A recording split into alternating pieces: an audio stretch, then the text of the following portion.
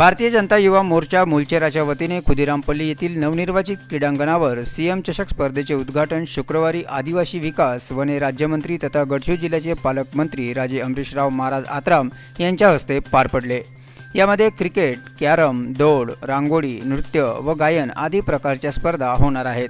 या उद्घाटन सोहळ्याला समाजकल्याण सभापती माधुरी उरेते अहेरीच्या नगराध्यक्षा हर्षा ठाकरे भाजप जिल्हा सचिव सुभाष गणपती तालुका महामंत्री निखिल हलदार यांच्यासह भाजपचे पदाधिकारी कार्यकर्ते स्पर्धक खेळाडू व श- गावातील नागरिक उपस्थित होते. Bureau report Jai Vidarbha news Gadchiroli.